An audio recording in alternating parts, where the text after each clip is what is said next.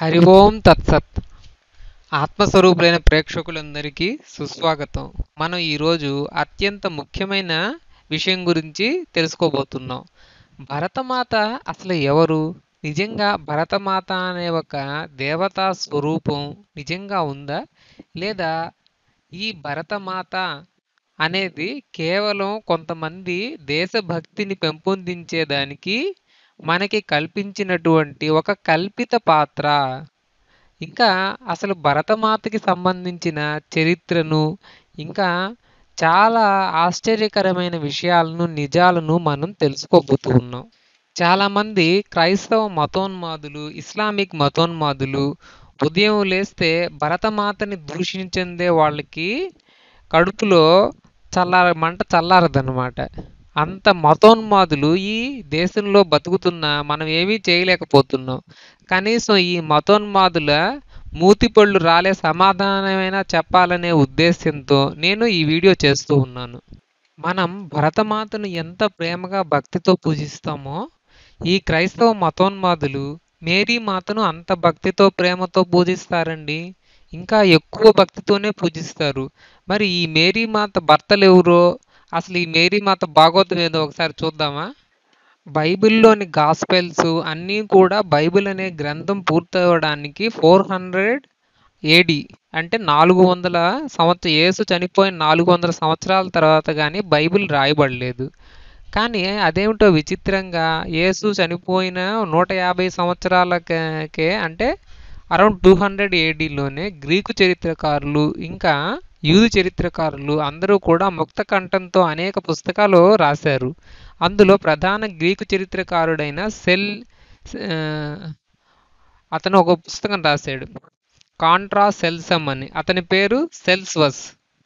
ఇతని యొక్క కథనం ప్రకారం ఇతని పుస్తకంలో రాసిన విషయాన్ని నేను కోట్ చేస్తున్నాను. Turned out by the carpenter who was betrothed to her as she had been convicted of adultery and had a child by a certain soldier named Pantera ఒకనొక రోమన్ సైనికుడితో పెళ్ళికి ముందే అక్రమ సంబంధం పెట్టుకుంది ఈ మేరీ మాత. వీళ్ళు భక్తితో పూజించుకునే మేరీ మాత అనే విషయం రోమన్ ఆ స ఆ టైంలో ఉన్నటువంటి గ్రీకు చరిత్రకారుడే స్పష్టంగా బైబిల్లో వర్జిన్ బర్త్ అనే కట్టుకథ రాయకముందే రాశాడు. ఈ కథనం ప్రకారం ఆ సెల్సియస్ కథనం ప్రకారం ఈ విషయం తెలుసుకున్నటువంటి ఆమె కాబోయే భర్త అయిన జోసెఫ్ ఆమెను తరుముకున్నాడనమాట అందుకని ఆమె పారిపోయి ఒక మారుమూల గ్రామంలో కుగ్రామంలో ఒక చిన్న పూరిపోయి ఒక చిన్న పూరిల్లు లాంటి ఒక ఇంట్లో రహస్యంగా యేసుకు జన్మనిచ్చింది అని ఈ చరిత్రకారుడు రాశాడు. ఇంకా జేమ్స్ డి టపోర్ అనేటువంటి ప్రఖ్యాత ఆర్కియాలజిస్టు ఇంకా లింగ్విస్టు ఇంకా హిస్టారియన్ ఈయన ద జీసస్ డైనాసిటీ అనే గ్రంథంలో ఈ మేరీ మాత బండారం అంతా బయ బట్టబయలు చేశాడు. ఆయన ప్రకారం ఏమిటంటే ఈ మరియా పెళ్ళి కాకముందే రోమన్ సైనికుడితో కమిట్ అయిపోయిందనమాట. తరువాత పెళ్ళైన తర్వాత ఏమైనా కాస్త బుద్ధిగా ఉన్నిందా అంటే అస్సలు లేనే లేదు. పెళ్ళి అయిన తరువాత చాలా కొద్ది కాలానికే ఏసేపు చనిపోయాడు. కాబట్టి ఏసేపు చనిపోయిన తరువాత ఏసేపు తమ్ముడిని పెళ్ళి చేసుకుంది. ఇలా పెళ్ళి చేసుకునే ఆచారం యూదుల్లో ఉంది అంటూ మరియమ్మ గుట్టంతా చాలా బహిరంగంగా చేసి అందరినీ విమర్శించాడు ఈ జేమ్స్ డి టబోర్. ఇటువంటి వ్యక్తిత్వం లేని ఒక స్త్రీని అమ్మా అమ్మా అంటూ మాత మాత అంటూ పూజించడంలో ఎటువంటి ఇబ్బంది లేని ఈ క్రైస్తవ మతోన్మాదులకు భరతమాత దగ్గరికి వచ్చేసరికి మాత్రం ఎక్కడ లేని సందేహాలన్నీ వస్తాయి. అదేం విచిత్రమో. ఈ విషయంలో ముస్లింలు కూడా ఏం తక్కువ తినలేదండి. వాళ్ళు చెప్పే విషయాన్నే మీకు పరిశీ ఖురాన్లో నుంచే మీకు నేను ప్రూవ్ చేస్తాను. వాళ్ళు వాళ్ళ దేవుణ్ణి తప్ప ఇంకెవరిని పూజించకూడదు కనీసం ఇంకెవరికి వంగి దండాలు కూడా పెట్టకూడదు. అలా పెడితే మమ్మల్ని నరకంలో వేస్తాడు మా దేవుడు అని భరతమాతను పూజించడాన్ని భరతమాతను గౌరవించడాన్ని ముందుగా వ్యతిరేకించిన మతోన్మాదులు ఇస్లామిక్ మతోన్మాదులే. కానీ వాళ్ళు చెప్పే సిద్ధాంతం వాళ్ళే ఆచరించడం లేదు. చూడండి. Mother of all believers is a term by which each of మొగ Mohammed's wives came to be prefix over the time అంటే గౌరవనీయులైన పీస్ బి అపాన్ హిమ్ ప్రవక్త గారు యొక్క భార్యలందరూ కూడా మదర్ ఆఫ్ ద బిలీవర్స్గా పిలువబడతారంట. అంటే ముస్లింలందరికీ మదర్ మదర్ ఎవరు అంటే ప్రవక్త గారి భార్యలు. ఒక్కరు కాదు చాలామంది. చూడండి. It is derive from Quran అంటే ఇది ఏదో వాళ్ళ మత ప్రవక్తలో ఇంకెవరో ఎటువంటి ఆధారం లేకుండా ఆపాదించినటువంటి విషయం కాదు. ఖురాన్లోనే ఈ విషయం ఉంది. థర్టీ త్రీ సిక్స్లో ఏం రాస్తుందంటే the prophet is closer to the believers than their selves అంటే బిలీవర్స్ అంటే ముస్లింలు. ముస్లింలందరికీ కూడా వాళ్ళ ప్రవక్త గారు చాలా దగ్గరి వాళ్ళంట. ఎంత దగ్గర వాళ్ళు అంటే and his wives are their mothers ప్రవక్త గారి భార్యలందరూ ముస్లిముల యొక్క తల్లి లాంటి వాళ్ళు అని స్పష్టంగా ఖురాన్ గ్రంథంలో రాసుంది. ఈ మదర్ ఆఫ్ ద బిలీవర్స్ అనే టైటిల్ ప్రవక్త గారి భార్యలందరికీ వర్తిస్తుంది. మరి ఒక్క అల్లాని మాత్రమే మేము పూజించాలి ఎవరిని మదర్ అని ఫాదర్ అని పిలవకూడదు అని చెప్పేవాళ్ళు ఆ గౌరవనీయులైన ప్రవక్త గారి భార్యల్ని మదర్ మదర్ అని ఎందుకు పిలుస్తున్నట్టు ఆ టైటిల్ వాళ్ళు ఎందుకు ఇచ్చి వాళ్ళకి ఎందుకు ఇచ్చినట్టు ఇక ఇప్పుడు మనం అసలు భరతమాత యొక్క ప్రస్తావన ఎక్కడుంది? భరతమాత ఎవరు? భరత అంటే దాని యొక్క అర్థం ఏమిటి? అనే విషయాల గురించి తెలుసుకోబోతున్నాం. మొట్టమొదటగా మనం ఈ భరతమాత యొక్క పేరు కానీ ఈ భరతమాత యొక్క రెఫరెన్స్ కానీ ఎక్కడ ఉందని పరిశీలిస్తే మనకి బెంగాలీ నవల అయినటువంటి ఆనంద్ మఠ్ అనే ప్రాచీన బెంగాలీ నవల్లో మనకు కనిపిస్తుంది. ఈ ఆనంద్ మఠ్ యొక్క రచయిత బకిం చంద్ర చటోపాధ్యాయ్. ఇది రాసింది బెంగాలీ లాంగ్వేజ్లో ఈ నవల పద్దెనిమిది వందల ఎనభై రెండవ సంవత్సరంలో పబ్లిష్ అయింది. ఈ నవలలోనే మొట్టమొదటిసారిగా వందే మాతరం అనే మన పవిత్రమైనటువంటి జాతీయ గీతం రచించబడింది. నిజానికి చాలా మంది అనుకునేది ఏమిటంటే ఈ ఆనందమఠ్ గ్రంథంలో బకించంద్ర చటోపాధ్యాయ గారు వందే మాతరం గీతాన్ని రచించారు అని రచయితగా బకించంద్ర చటోపాధ్యాయ గారికి ఈ టైటిల్ ఇవ్వడం జరిగింది. కానీ స్వయంగా బకించంద్ర గారు చెప్పిన విషయం ఏమిటంటే నేను ఈ వందే మాతరం అనే గీతాన్ని రాయలేదు. వందే మాతరం అనే ఈ గీతాన్ని నేను సేకరించి నా యొక్క గ్రంథంలో రచించడం జరిగింది. కానీ దీని యొక్క ఒరిజినల్ రచయితలు ఎవరంటే హిందూ సాధువులు లేదా సన్యాసులు. వాళ్ళు భారతీయులలో జాతీయతా స్ఫూర్తిని ఇంకా స్వాతంత్ర్య కాంక్షని రగిల్చడానికి ఒక ప్రాంతం నుంచి ఇంకొక ప్రాంతానికి తిరుగుతూ భారతీయులలో దేశభక్తిని రగులుకొల్పడానికి భారతీయుల్ని శక్తివంతులుగా తయారు చేయడానికి శక్తి స్వరూపమైనటువంటి దుర్గామాతని ఆరాధిస్తూ దుర్గామాత యొక్క స్తోత్రాన్ని సరళమైన బెంగాలీ భాషలో వాళ్ళు ఒక పాట రూపంలో రచించి ఆ దుర్గామాత యొక్క స్తోత్రంతో ఆ శక్తి స్వరూపిణి యొక్క శక్తి మంత్రాలతో భారతీయుల్లో శక్తిని నింపే ప్రయత్నం చేశారు. ఆ యొక్క అప్పటికే ప్రజలందరి నోట్లో నానుతూ చాలా పాపులర్ అయినటువంటి ఆ దుర్గామాత యొక్క స్తోత్రాన్ని నేను నా గ్రంథంలో పొందుపరిచాను అని స్వయంగా బకించంద్ర చటోపాధ్యాయ గారే చెప్పారు. మనం అందరం కూడా పాడేటువంటి ఇంకా మనందరికీ కూడా తెలిసినటువంటి వందే మాత్రం గీతం కేవలం సగం మాత్రమే. మిగతా సగం గీతాన్ని భారత స్వతంత్ర ప్రభుత్వం నిషేధించింది. మిగతా సగం గీతాన్ని ఆలపించకుండా. ఎవరి కోసం అంటే మతోన్మాదులైన ముస్లిముల కోసమే. మిగతా పూర్తి జాతీయ గీతాన్ని పరిశీలించినట్టయితే భరతమాత ఎవరు అనే విషయం మనకు అర్థమైపోతుంది. ఇక్కడ మీరు ఈ వందే మాతరం జాతీయ గీతంలో చివరగా పరిశీలిస్తే త్వం హీ దుర్గా అని స్పష్టంగా రాస్తుంది. అంటే ఈ వందే మాతర జాతీయ గీతం మరేమిటో ఏదేదో కాదు. ఇది స్పష్టంగా దుర్గాదేవి యొక్క స్తోత్రము. దుర్గాదేవి శక్తి స్వరూపిణి ఆ శక్తి స్వరూపిణిని ఆరాధించి ఆ శక్తి సహాయంతో భారతీయుల్ని ఉత్తేజితం చేయడమే ఈ వందే మాతర గీతం యొక్క ఉద్దేశ్యం. ఇక మనం భారతి అనే పేరుకు కనుక అర్థాన్ని చూసినట్లయితే సరస్వతి మాత అని భారత భారతి అనే పదానికి అర్థం. భారతీయులు అంటే సరస్వతి మాత భక్తులు అని అర్థం. హిందువులు అంటే శివశక్తుల యొక్క భక్తులు. హిమ్ అంటే శివుడు దు అంటే దుర్గాదేవి. మనకి స్పష్టంగా వందే మాతర గీతంలో దుర్గాదేవి యొక్క ప్రస్తావన నేరుగా ఉన్నప్పటికీ వందే మాతర గీతాన్ని మీరు పూర్తిగా పరిశీలించినట్లయితే అందులో వాళ్ళు పూజించినటువంటి అక్కడ రాయబడినటువంటి ఆ దేవి స్వరూపం దుర్గా సరస్వతి కాళీల యొక్క ముగ్గురు మూర్తుల కలయికగా మనకి స్పష్టంగా తెలుస్తుంది. కాబట్టి భరతమాత ఎవరో కాదు దుర్గా సరస్వతి కాళీ యొక్క ఈ మూడింటి కంబైన్ స్వరూపమే భరతమాత. ఇప్పుడు మీరు విస్తుపోయే ఆశ్చర్యకరమైన అంశాన్ని మీకు నేను చెప్పబోతున్నాను.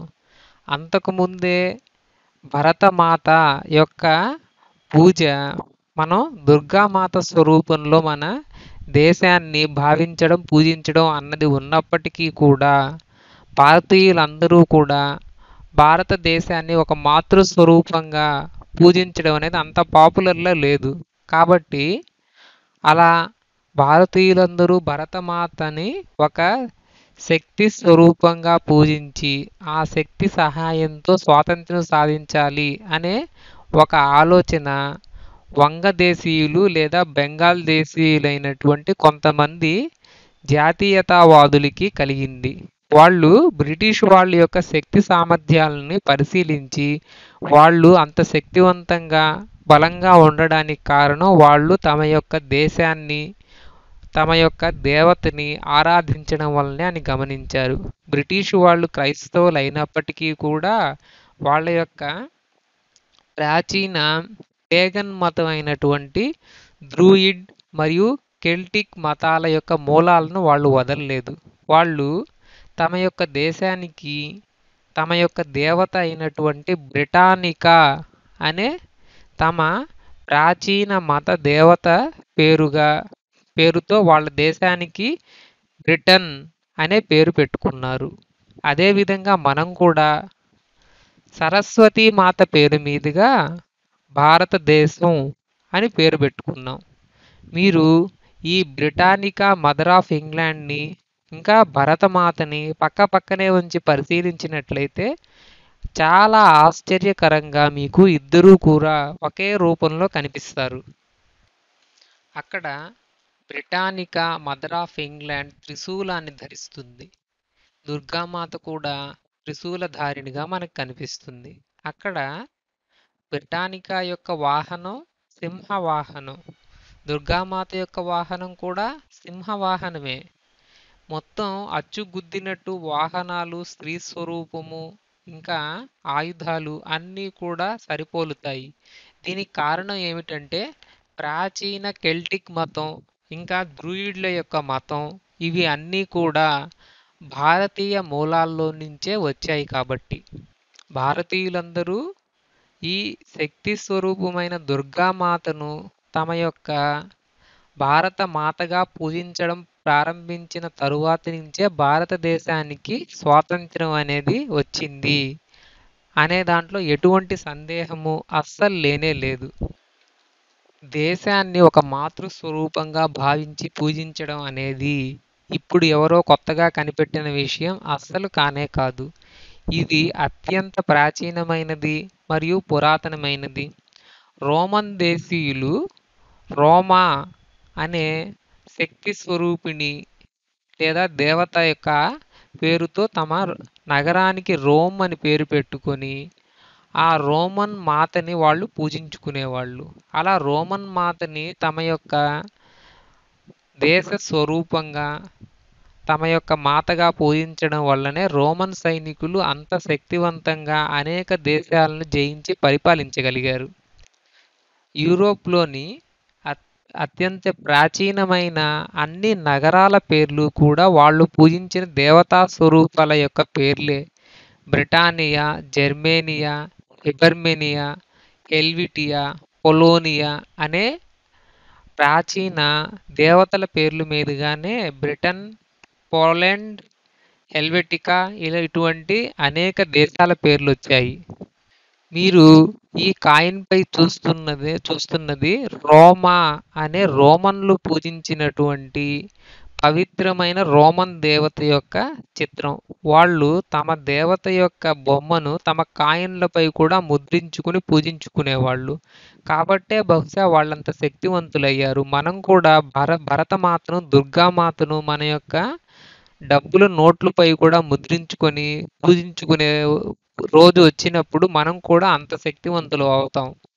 ఇప్పుడు మనం ప్రపంచంలో ఏ ఏ దేశాలు తమ యొక్క దేశాన్ని ఒక మాతృ స్వరూపంగా దేవతా స్వరూపంగా పూజిస్తున్నారో చూద్దాం. Albania mother Albania. ఈ అల్బేనియా అనే పేరు అల్బేనియా అనే దేవత పేరు మీదుగానే వచ్చింది. తరువాత అమెరికా అమెరికా ఎవరో కాదు. Personification of early European god America. America అనే దేవత పేరు మీదుగానే స్త్రీ దేవత పేరు మీదుగానే అమెరికా దేశానికి ఆ పేరు వచ్చింది. అర్జెంటీనా ఈమె కూడా ఒక దేవతే. అర్మేనియా ఆమె కూడా ఒక దేవతే. ఈ అర్మేనియా దేవత విగ్రహాన్ని మీరు చూడొచ్చు. ఇంకా little boy for manly Australia. Australia ఇంకొక దేవతా స్వరూపం. ఆస్ట్రియా ఆస్ట్రియా కూడా ఒక దేవతే. తర్వాత బంగ్లాదేశ్ కూడా బంగ్లా మాత పేరు మీదుగా బంగ్లాదేశ్ అనే పేరు వచ్చింది. బెల్జియం.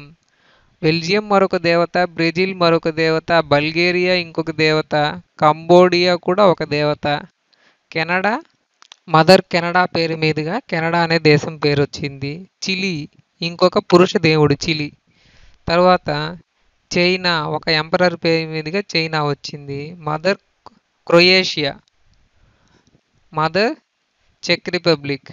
డెన్మార్క్లో తమ దేశాన్ని ఒక పురుష రూపంగా భావిస్తారు. డొమినికన్ రిపబ్లిక్లో ఒక పురుష రూపం. ఈజిప్టులో వాళ్ళు దేవుడైన ఎల్ డోనియా ఓం ఎల్ డోనియా పేరు మీదుగా ఈజిప్ట్లో ఆ పేరు వచ్చింది. తర్వాత అసలు యూరోప్ అంటే ఎవరు అనుకుంటున్నారు యూరో యూరోపా రెజీనా అనే దేవతా స్వరూపమే యూరోప్. మీరు ఇక్కడ స్పష్టంగా ఆ యూరోపా దేవత యొక్క చిత్రపటాన్ని యూరోప్ దేశం యొక్క మ్యాప్నే యూరోపా దేవతగా వాళ్ళు చిత్రీకరించడాన్ని మీరు గమనించవచ్చు. Finland Finnish maiden. ఒక ఫిన్నిష్ దేవత పేరుగా ఫిన్లాండ్ దేశం పేరు వచ్చింది తర్వాత మరియాన్నే పేరు మీదుగా ఫ్రాన్స్. ఫ్రాన్స్కి మరియాన్నే దేవత. Georgia mother Georgia. Germany Germania దేవత పేరు మీదుగా జర్మనీ అనే పేరు. ఇంకా జర్మనీ యొక్క జాతీయ దేవత జర్మేనియా. గ్రీస్. హెల్లాస్ దేవత పేరు మీదుగా గ్రీస్. తర్వాత హైతీ. హైతీ యొక్క దేవుడు దేవత ఎవరంటే virgin Mary. Hungary lady of Hungaria Iceland lady of mountains Bharat Mata Indonesia Ibu Pertiwi. ఇరాన్లో కూడా రొస్తాం అనే దేవత పేరు మీదుగా దేవుడి పేరు మీద ఇరాన్ అనే పేరు వచ్చింది. ఆఫ్ఘనిస్తాన్ తజికిస్తాన్ల యొక్క జాతీయ దేవత కూడా Rostam Ireland Israel Italy Italy యొక్క జాతీయ దేవత మనం ఇంతకు ముందే చెప్పుకున్న రోమన్ సామ్రాజ్యంలో రోమన్లు పూజించిన రోమా జపాన్ దేవత ఒక పర్సానిఫికేషన్ ఆఫ్ సన్ సూర్యుడిని దైవ స్వరూపంగా భావి భావించేవాళ్ళు జపనీయులు. అలా Kazakhstan Latvia Malaysia Malta Mexico Morocco ప్రతి దేశము కూడా ప్రాచీన దేశాలన్నీ ప్రాచీన నాగరికతలన్నీ కూడా ఇలా వాళ్ళు పూజించుకునే పవిత్రమైన ప్రీ ఇస్లామిక్ మరియు ప్రీ క్రిస్టియన్ దేవతా స్వరూపాల మీదే వాళ్ళ దేశాలకి పేర్లు వచ్చాయి. వాళ్ళందరూ కూడా మతాలు మారినప్పటికీ వాళ్ళు తమ దేవతల్ని దేవుళ్ళని వదలకుండా ఇంకా తమ యొక్క దేశాన్ని ఆ దేవతా స్వరూపాలతో లింక్ చేసి అలా భావిస్తూ పూజిస్తూ గౌరవిస్తున్నారు కాబట్టి వాళ్ళ దేశాలు అలా రోజు రోజుకి దినదినావృద్ధి చెందుతున్నాయి. రొమేనియా దేవత పేరు మీదుగా రొమేనియా దేశం వచ్చింది. మదర్ రష్యా పేరు మీదుగా Russia. Siberia mother Siberia Singapore Slovakia Spain Sri Lanka ఇలా ప్రపంచంలోని ప్రతి దేశము కూడా వాళ్ళ యొక్క స్వరూపాన్ని దైవ స్వరూప దే వాళ్ళ యొక్క దేశాన్ని దైవ స్వరూపంగా భావించి పూజించేవాళ్ళు. బ్రిటన్ దేశంలోని నడిబొడ్డులో వాళ్ళు బ్రిటానికా దేవత యొక్క విగ్రహాన్ని పెట్టుకున్నారు. బ్రిటానికా దేవత దుర్గామాత లాగే సింహాన్ని వాహనంగా కలిగి మరియు త్రిశూలాన్ని ధరించడాన్ని మీరు గమనిస్తే బ్రిటానికా దేవత దుర్గాదేవి ఒక్కరేనేమో అనే అనుమానం మీకు కనుకకు మానదు. ఇలా ప్రపంచంలోని ప్రతి దేశము కూడా వాళ్ళ యొక్క దేశాన్ని వాళ్ళ యొక్క దేవతా స్వరూపంగా భావించి పూజిస్తూ ఉన్నారు. క్రైస్తవులు భరతమాతని పూజించకూడదు గౌరవించకూడదు అని ఈ పాస్టర్లందరూ క్రైస్తవులకి బోధించడంలో ఉద్దేశ్యం భారతదేశాన్ని విచ్ఛిన్నం చేయడం తప్ప ఇంకొకటి కాదు. ప్రపంచంలో అనేక వందల క్రైస్తవ దేశాలు తమ దేశాన్ని మదర్ రష్యాగా మదర్ బ్రిటానికాగా మదర్ అమెరికా ఇలా అనేక రకాలుగా భావించి పూజిస్తూ ఉన్నారు. వాళ్ళందరూ క్రైస్తవులు కాదా? వాళ్ళు బైబిల్ చదువుకోలేదా? వాళ్ళకి విషయాన్ని తెలియదా తెలుసు. కానీ వాళ్ళ తమ దేశం పట్ల భక్తి కలిగి ఉన్నారు. కానీ మన దేశాన్ని విచ్ఛిన్నం చేయాలి అంటే మనం ముందుగా భారతీయుల్ని దేశద్రోహులుగా మార్చాలి. మార్చాలంటే వాళ్ళు తమ యొక్క భరత మాతని దుర్గామాతని తమ యొక్క దేవతల్ని ద్వేషించేలా చేయడమే ఈ వీళ్ళ యొక్క ఉద్దేశ్యం. భరత మాత అయితే భారత పిత ఎవరు? భారత పిత ఎవరంటే భరతమాత యొక్క భర్తే భారత పిత. భరతమాత ఎవరో మనం ముందుగానే తెలుసుకున్నాం. భరతమాత దుర్గాదేవే. ఈ దుర్గాదేవి తల్లిదండ్రులు ఎవరు దుర్గాదేవి యొక్క అవతారం ఎప్పుడు వచ్చింది అంటే మహిషాసురుడు దేవతల్ని బాధించేటప్పుడు ఆ మహిషాసురుని సంహరించడానికి దేవతలందరూ ఒక మహా యజ్ఞం చేసి ఆ పరబ్రహ్మ స్వరూపాన్ని ప్రార్థించినప్పుడు ఆ పరబ్రహ్మ స్వరూపం ఒక స్త్రీమూర్తి రూపంలో అవతరించింది. ఆ స్త్రీమూర్తే దుర్గామాత. దుర్గామాత అయోనిజ. ఆమెకి తల్లిదండ్రులు ఎవరు లేరు. ఆమె స్వయంగా పరబ్రహ్మం యొక్క సాక్షాత్ స్వరూపం. ఈ దుర్గామాత యొక్క భర్త మాత్రం ఆ మహాశివుడే. ఈ విషయం మనకి తంత్రశాస్త్ర గ్రంథాలలోనే కాదు ఇంకా పురాణాలలో కూడా స్పష్టంగా రాసింది. నారద భైరవ అనే శివుని యొక్క అవతారమే దుర్గాదేవి యొక్క భర్త. దుర్గాదేవి ఆ పరబ్రహ్మం యొక్క మాయా స్వరూపమే అని మనకి శివపురాణంలోని రుద్ర సంహితలో రాసుంది. దుర్గాదేవిని బిలౌడ్ ఆఫ్ శివ శివుడి యొక్క ప్రియురాలిగా మనకి శివపురాణంలో వర్ణించబడింది. కాబట్టి దుర్గాదేవి యొక్క భర్త ఆ మంగళ స్వరూపుడు శేష శ్వేత వృషభ వాహనుడు అయినటువంటి ఆ మహాశివుడే. మన యొక్క తల్లి దుర్గాదేవి మన యొక్క తండ్రి మహాశివుడు. ఈ విషయాన్ని మీరు అర్థం చేసుకుంటే ఇక భరతమాత ఎవరు అనే విషయంలో మీరు ఎప్పుడూ గందరగోళం పడరు. ఇప్పుడు మీకు అసలైన విషయం మొత్తం భరతమాత చరిత్ర అంతా అర్థమైందనే నేను అనుకుంటూ ఉన్నాను. ఈ చిత్రంలో మీరు చూస్తున్నవి భరతమాత యొక్క అత్యంత పురాతనమైన పెయింటింగ్స్. ఈ పెయింటింగ్స్లో మీకు భరతమాత త్రిశూలాన్ని ధరించకుండా ఒక కాషాయ జెండాన్ని ధరించి ఉంటుంది. కానీ ఆమె ఒరిజినల్గా దుర్గామాతే. భరతమాతగా వెనకాల బ్యాక్గ్రౌండ్లో మ్యాప్ని పెట్టి కొంచెం ఆ మూర్తిని మార్చారు. కానీ ఆమె యొక్క స్వరూపం మాత్రం దుర్గాదేవి యొక్క స్వరూపమే. ఇప్పుడు ఈ మతోన్మాదులందరికీ చెప్పు తెగే పళ్ళు రాలే సమాధానం వచ్చిందనే నేను ఆశిస్తూ ఉన్నాను. ఒక ముగ్గురు ముగ్గురు పురుషులతో సంబంధం పెట్టుకొని పెళ్ళి కాకుండానే తల్లి అయ్యి యూదుల చేత చీ కొట్టించుకున్న ఒక స్త్రీని మీరు తల్లిగా భావించి పూజిస్తే మీకు గౌరవం వస్తుంది. కానీ అన్నం పెట్టి ఆశ్రయం ఇచ్చి మేము మీకు మీకు బతికేదానికి ఇంత చోటిచ్చి తినేదానికి ఇంత తిండి ఇచ్చిన ఈ దేశాన్ని ఈ భరత మాతని పూజించేదానికి మాత్రం మీకు మనసు రాదు. మీరు మీ బతుకులు. హరి ఓం తత్సత్.